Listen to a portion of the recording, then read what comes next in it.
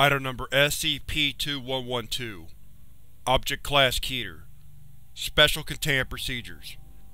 Due to its cultural significance and the period of time elapsed between its creation and the discovery of SCP-2112, full eradication of SCP-2112's primary carrier is impossible at this time.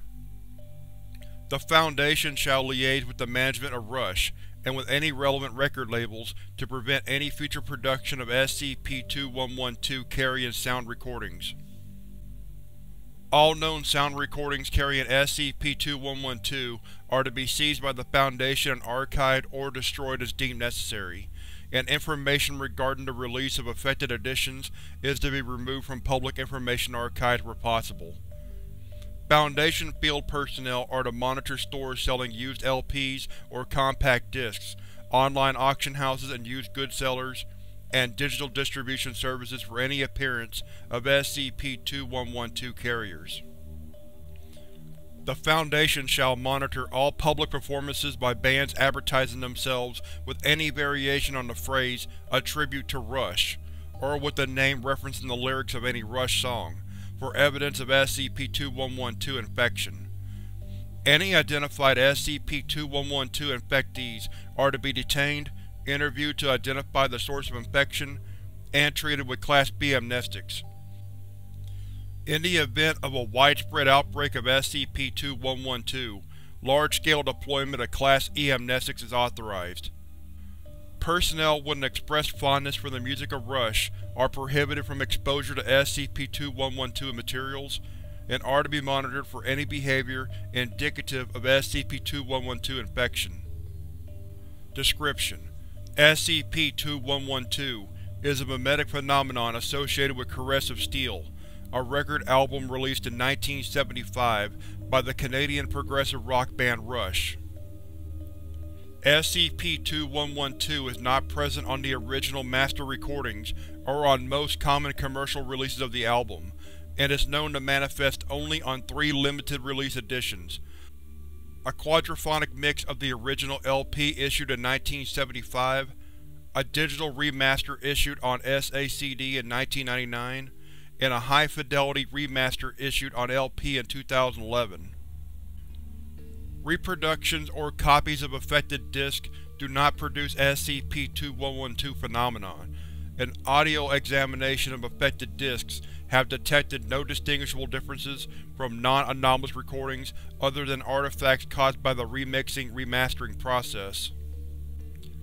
SCP-2112's primary anomalous effect manifests when an affected disc is listened to, in its entirety, by a person who identifies him or herself as a fan of the music of Rush and possesses any level of experience in playing the electric guitar, electric bass, or drums.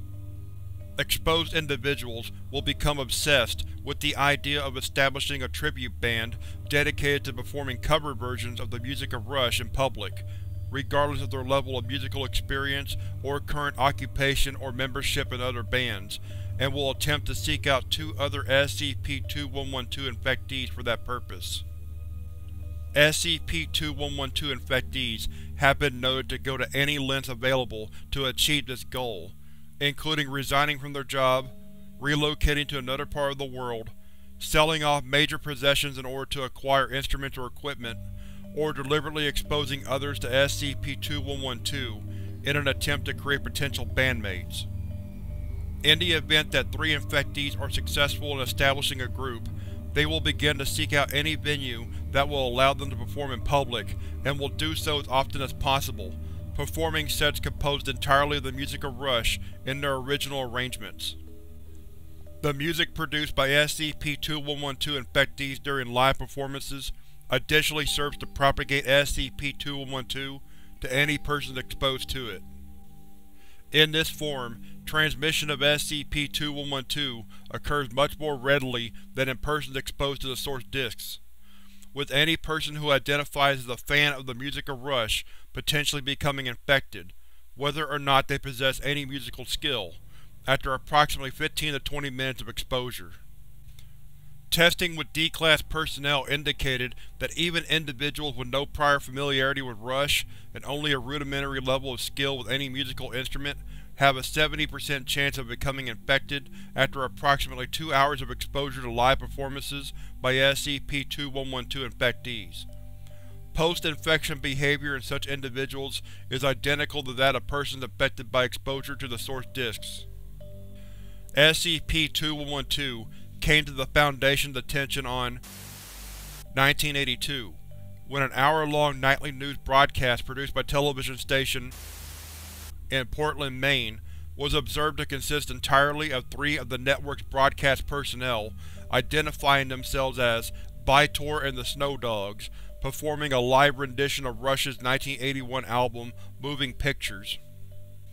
The overwhelming majority of commercials aired during the broadcast, rather than advertising any product or service, additionally portrayed various local businessmen and politicians performing fragments of Rush songs, with varying degrees of skill.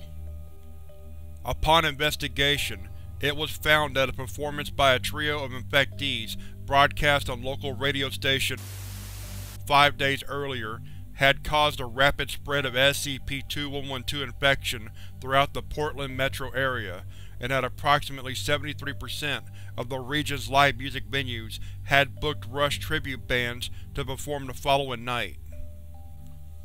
Implementation of Procedure Wortham 673, followed by aerial dispersal of Class E amnestics throughout the area, was deemed necessary to prevent further spread. Current models indicate that, in the event of an unchecked SCP-2112 outbreak, the phenomenon would reach pandemic status within three weeks of the formation of the first tribute band. The members of Rush, in interviews conducted by the Foundation, have claimed no knowledge of or involvement in the creation of SCP-2112. Addendum Memo from Project Research Manager Edwalds Some have questioned why SCP-2112 warrants classification as Keter. It is true that SCP-2112 poses no direct threat to human life, or to the continued existence of the human race. Were every person susceptible to SCP-2112 infection to be infected, it would likely not result in a single fatality. What it does present, however, is a severe existential threat to the entirety of human culture, the arts, and all forms of creative work whatsoever. Man is a wonderfully creative animal, and has developed a myriad of ways of expressing his thoughts and emotions, through poetry, dance, film, the written word, theater, paintings, sculpture, video games, even internet memes. We run the risk of every one of these mediums, every single last one of them, disappearing from our common experience forever, in favor of thousands and millions of mediocre everymen performing the exact same songs over and over again.